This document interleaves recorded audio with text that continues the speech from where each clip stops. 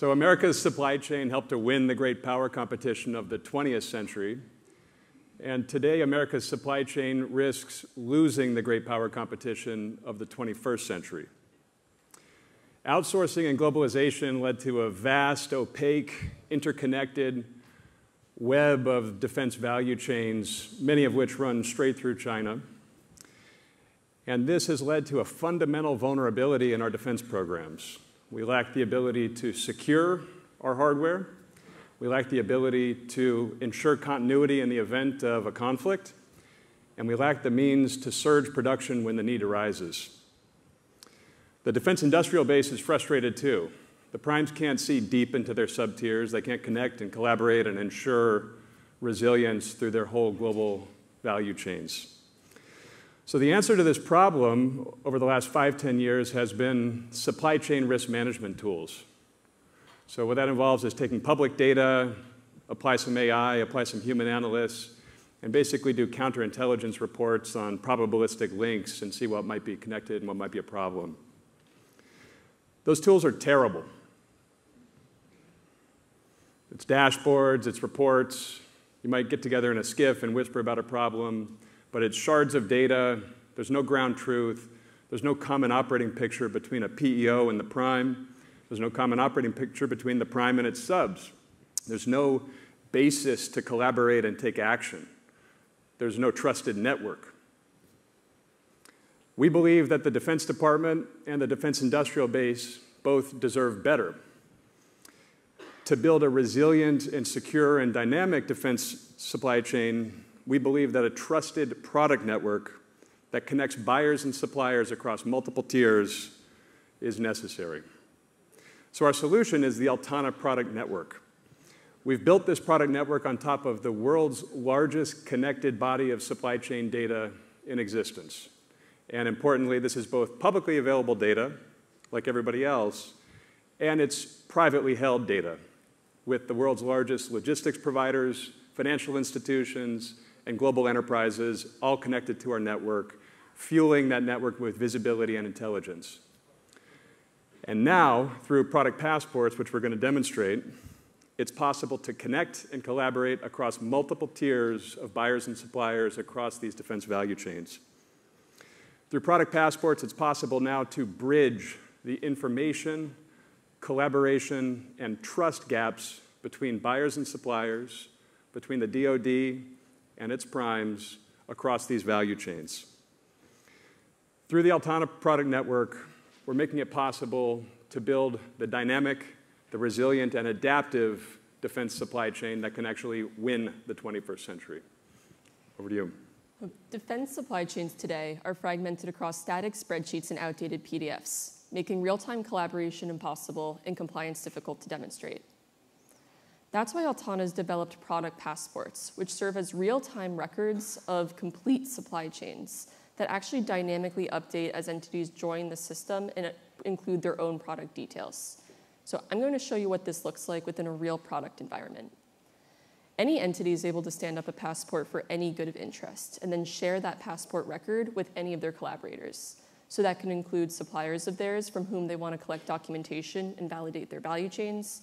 It can also include authorities and buyers to whom they want to demonstrate their own compliance and diligence and become better vendors in the process.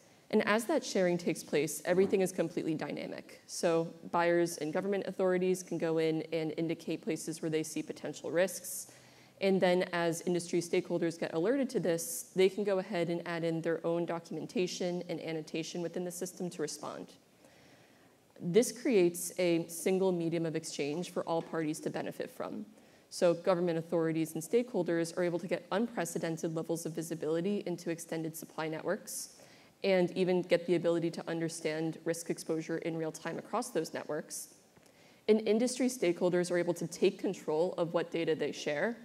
They're able to clarify the requirements of the buyers that they work across and any authorities they're responsible to. And they're able to benefit from an expanding product network themselves uh, as more entities continuously join this, this ecosystem. This drives trust and resiliency and ultimately creates a massive amount of efficiency through government and industry collaboration. And it's all powered by Altana's product passports. Now, that said, we understand how difficult collaboration can be for entities to achieve in the absence of knowing where risk sits.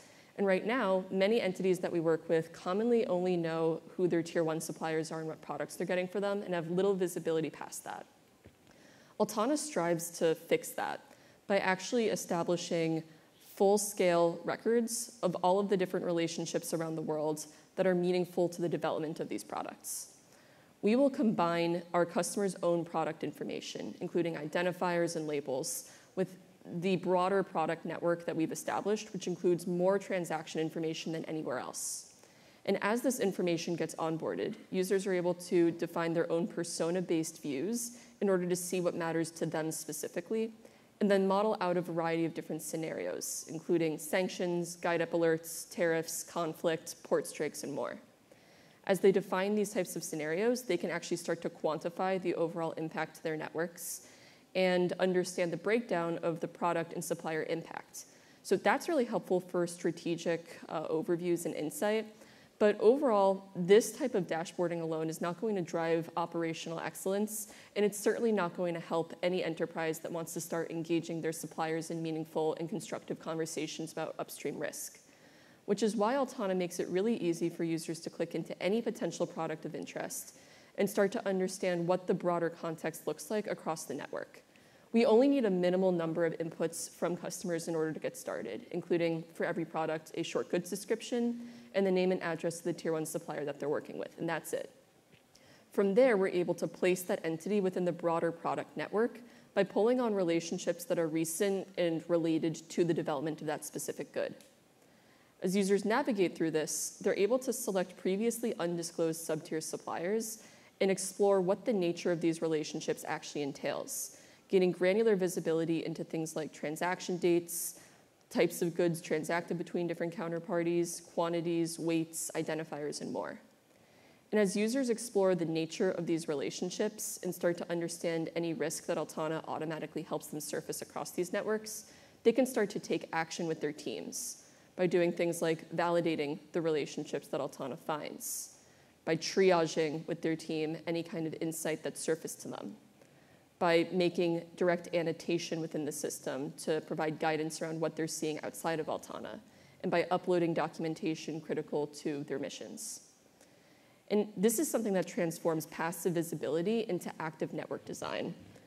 Another core component of active network design for many entities is the ability to source net new products and suppliers where necessary.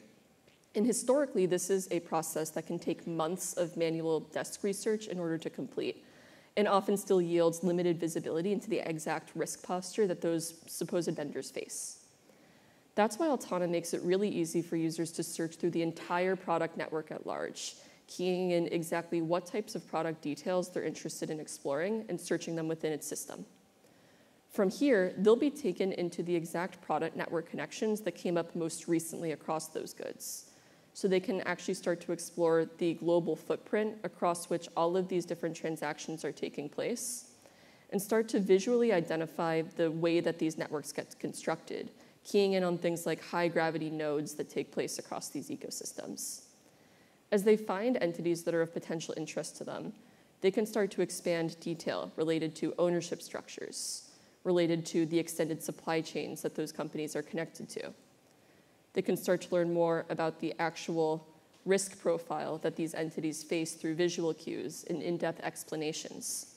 This maximizes the amount of visibility that entities are able to see across the world while minimizing the ultimate amount of risk burden that they would take on by adopting these entities as vendors.